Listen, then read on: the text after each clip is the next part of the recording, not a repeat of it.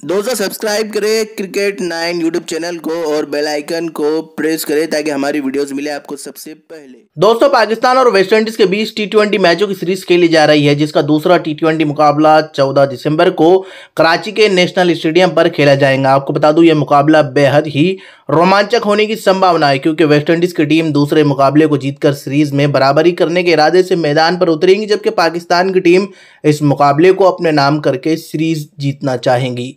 मुकाबले के टाइम की बात करें तो ये मैच भारतीय समय अनुसार शाम छह बजकर तीस मिनट से खेला जाएगा, जिसका लाइव टेलीकास्ट आप सोनी सिक्स पर देख पाएँगे, जबकि लाइव स्ट्रीमिंग का आनंद आप सोनी लिव ऐप पर उठा सकते हैं। आपको बता दो, पाकिस्तान और वेस्टइंडीज के बीच खेला गया मुकाबला, पाकिस्तान ने तिरसठ रन से जीत लिया। मैच में मोहम्मद रिजवान और हैदर अली ने शानदार बल्लेबाजी की, जबकि गेंदबाजी में भी पाकिस्तान की तरफ़ से वसीम जूनियर और शादाब खान ने वेस्टइंडीज के बल्लेबाजों को सस्ते में आउट कर पाकिस्तान को बड़ी जीत दिलाई।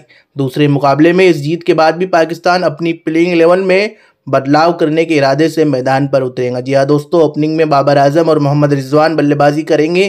तो नंबर तीन पर फ़खर जमान नंबर चार पर खेलते दिखेंगे। हैदर अली और नंबर पाँच पर एक बार फिर से आसिफ अली खेलते दिखेंगे। मतलब नंबर पाँच तक तो कोई बदलाव नहीं होगा, लेकिन नंबर छः पर इफ्तार अहमद की जगह खुशदिल शाह खेलेंगे। नंबर सात पर मोहम्मद नवाज़, नंबर आठ पर शादाब खान, नंबर नौ पर मोहम्मद वसीम जूनियर, और दस ग्यारह पर हारिस रऊफ़ और शाहीन आफरीदी की जगह शहनवाज धानी और उस्मान कादिर खेलेंगे। मतलब प्लेइंग एलेवन में कुल तीन बड़े बदलाव होंगे। फ़िलहाल इस वीडियो में इतना ही।